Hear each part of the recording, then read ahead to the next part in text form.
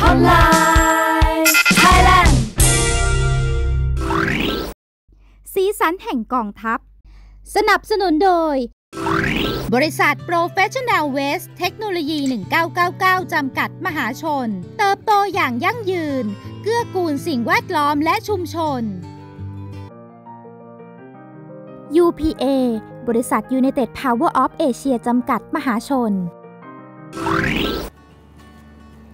วัสดีค่ะ คุณผู้ชมค่ะ วันนี้อยู่กับพึ่งน้อยปรียพรนะคะ แล้ววันนี้ค่ะอยู่ในช่วงของสีสันแห่งกองทัพ วันนี้นะคะพิ่งจะมีเรื่องราวดีๆ ค่ะ เกี่ยวกับการรักษาผลประโยชน์ของชาติทางทะเล จะมาบอกเล่าให้กับคุณผู้ชมนะคะแล้วก็ประชาชนทั่วไปนะคะได้ทราบถึงความสำคัญกัน แล้ววันนี้ค่ะพิ่งมีผู้ใหญ่ใจดีทั้งสองท่านนะคะนั่งอยู่ในรายการนี้แล้วค่ะ ท่านแรกนะคะท่านพลเรือเอก จุมพลลุมพิการนนท์ค่ะ อดีตรองปลัดกระทรวงกลาโหมค่ะ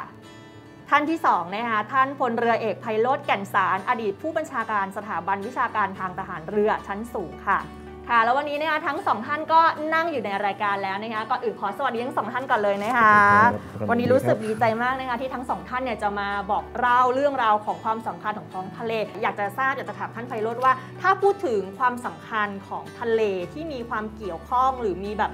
ประโยชน์อะไรกับประชาชนอย่างเงี้ยค่ะอยากจะให้ท่านไพโรธนะคะช่วยอธิบายให้คุณผู้ชมทางบ้านได้ฟังหน่อยว่า ทะเลกับประชาชนเนี่ยมันมีความเกี่ยวข้องอะไรนอกเหนือจากการที่เราจะไปเที่ยวค่ะท่านผมเคยตั้งคำถามกับชาวบ้านหลังสุดก็เมื่อวานนี้เองนะอูล่าสุดเลยนะคะท่าเอนอว่าทะเลนี่มีประโยชน์อะไรมเขานึกไม่ออกเชื่อไหมใช่ทั้งๆที่ค่ะ มันมีอย่างน้อย 5 ประการนะห้าเลยเหรอคะท่านมากกว่านั้นด้วยซ้ำไป โอ้โหโดยภาพรวมเนี่ยผลประโยชน์ชาติทะเลมีอะไรบ้าง ง่ายสุดก็คือสัตว์น้ำ สารพัดชนิด ใช่ค่ะ กุ้งหอยปูปลาเออจับมาขายนะอะไรแบบนี้นะคะ ขายเพื่อเลี้ยงชีพอ่าส่งออกนำเงินเข้าประเทศปีนึงครับแสนล้านนะว้าวในอเยอะดีตขนาดนี้ก่อนที่จะถูก EU เล่นงานเรื่อง IUU เดี๋ยวพูดกันที่หลังกันเนี่ยได้เยอะปค่ะระมาณปีละ3 0 0แสนล้าน พอท่านไพโรจน์เนี่ยอธิบายเรื่องราวเกี่ยวกับท้องทะเลคร่าวๆแล้วเนี่ยท่านมีอะไรอยากจะเสริม จริง ๆ ภาษาวิชาการภาษาวิชาการเขาเรียกว่าทรัพยากรมีชีวิตอืม ก็คือกุ้งหอยปูปลาเช่นใช่มันหมายถึงอื่นๆปลาการังมันเหมือนถึงพายุมันถึงสารพัดอีกเยอะแยะมากมายนะฮะรู้จักอะไรฮะกระเบนลาหูไหมเคยเห็นเขาเรียกเขาเรียกเนี่ยหนูเป็นนักดำน้ำชอบดำน้ำเขาเรียกแมนต้าอืมนะอันนี้เป็นสัตว์หายากซึ่งก็อยู่ในทะเลอันดามันอยู่ในซีกหลายหลายที่นะฉลามวาฬก็ตามหรือบูด้าอะไรก็ตามเยอะแยะทั้งหมดนี่คือทรัพยากรมีชีวิตใช่ค่ะนะฮะที่เรามีการแย่งทำฟาร์มหงฟาร์มหอยกันไหมอืมที่สุรุกสุราษฎร์นี่นี่คือเรื่องของผ ลประโยชน์ตัวที่หนึ่งคือทรัพยากรมีชีวิตค่ะตัวที่สองก็คืออย่างที่เพิ่งพูดหนูรู้ไหมว่ามีฐานขุดเจาะอยู่กลางอ่าวไทยอยู่เนี่ยที่ฐานขุดโอ้ถ้านับเป็นฐานนี้คือไม่ทราบเลยค่ะท่าน400กว่าฐานแท่นอุ๊ยเยอะกว่าฐานนี้เลยเหรอ Yes คะนี่ไงฮะแล้วไม่ใช่ปะนั่นนะเป็นการให้สัมปทานค่าข้อมูลเทคโนโลยีบางเรื่องเนี่ยปทสพทำเออไปทำนี่คือที่คือทรัพยากรนี้ แล้วเขาเรียก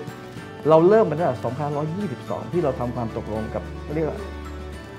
พื้นที่พัฒนาร่วมไทยมาเลเซียค่ะเราเรียกสมัยก่อนเรียกว่าโชดช่วงชัชวาลอืมนะต้นสมัยท่านชาติชายอะไรเนี่ยนะฮะไล่เรียงมาจนป่านนี้เราก็ยังใช้แก๊สธรรมชาติค่ะน้ำมัน หลายคนจะว่าทำไมต้องวิกเราประเทศมีน้ำมันเท่ากับซาอุดิไม่ใช่เลยครับอืมน้ำมันบ้านเรามีแต่ว่าเป็นส่วนหนึ่งค่ะแล้วบ้านเราในอ่าวไทยเนี่ยเป็นเขาเรียกว่าเป็น แก๊สธรรมชาติที่มีคอนเดนเซตมีแก๊สเหลว สามารถเอามาทำเม็ดพลาสติกทำไมประเทศเราถึงประเทศต้นน้ำในการที่ทำรถยนต์ที่ญี่ปุ่นหรือประเทศต่างๆ มาลงทุนในประเทศเราค่ะเพราะเราประเทศต้นน้ำอ๋อเรามีตัวทรัพยากรตัวนี้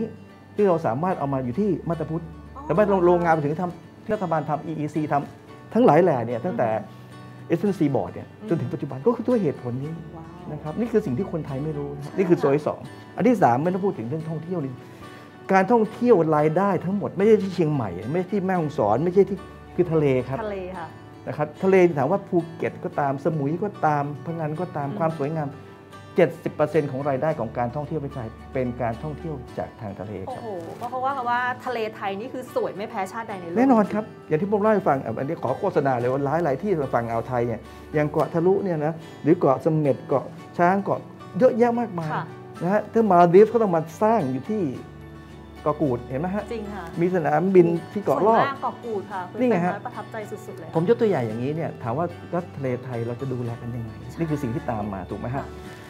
จากนั้นไม่พอเมื่อกี้ท่านพูดถึงในเรื่องของการ C line ภาษาอังกฤษเขาเรียก C line of communication ก็คือการติดต่อสื่อสาร นักล่าในคมทั้งหลายแหล่โคลัมบัสก็ตามเจิ้นเหอทั้งหลายแต่ที่ไปยึดทะเลเขาทั้งหลายแหละทะเลาะกันไม่เลิกอยู่ตอนนี้ค่ะก็คือทะเลทั้งนั้นนะ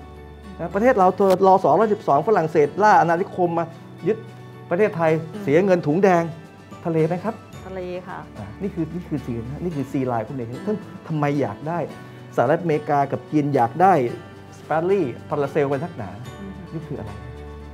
โอ้โห คุณผู้ชมค่ะกำลังสนุกเลยนะคะ แล้วก็มีข้อมูลที่คุณผู้ชมหลายๆท่านนะคะ ควรที่จะฟังอย่างยิ่งค่ะ เพราะว่ายิ่งฟังก็จะยิ่งได้ความรู้นะคะที่เกี่ยวข้องกับ ผลประโยชน์แห่งชาติทางทะเลนะคะเพราะฉะนั้นตอนนี้ขออนุญาตพักสักครู่นะคะ เดี๋ยวกลับมาในช่วงหน้าค่ะ